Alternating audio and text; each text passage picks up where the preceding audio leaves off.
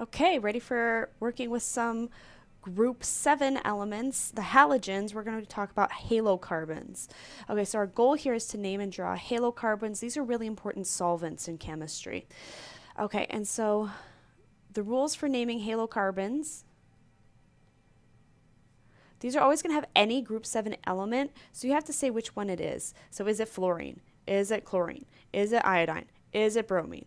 Etc., etc. So we're going to have to be able to name those specific um, those specific atoms and then also name where they are so somebody else could could draw these. So let's start with an example.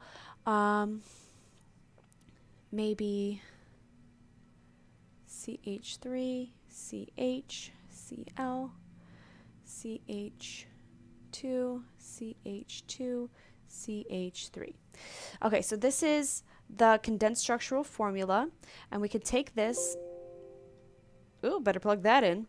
So we can take this and um, from this draw the extended structural formula and then the skeletal, but I'm going to skip extended and just draw the skeletal just to save time. So we know that there are a total of one, two, three, four, five carbons, remembering that this right here is a chlorine. This is what makes it a halocarbon. So we do not count that. It is not carbon, it is chlorine. Okay, so now we can take this and do one, two, three, four, five. And we see that this first one has three H's attached to it, nothing special. The second one has one H and one Cl. So this is where we're going to draw our Cl that makes it a halocarbon. Third one, CH2, nothing special about that. Fourth one, CH2. Fifth one, CH3. So this is the same thing as that. We've taken the condensed structural formula, made a skeletal structural formula.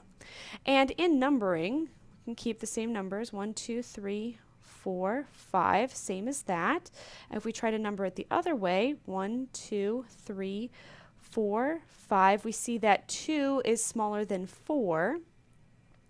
And the way that we name this is we always start with the lowest number on the longest chain.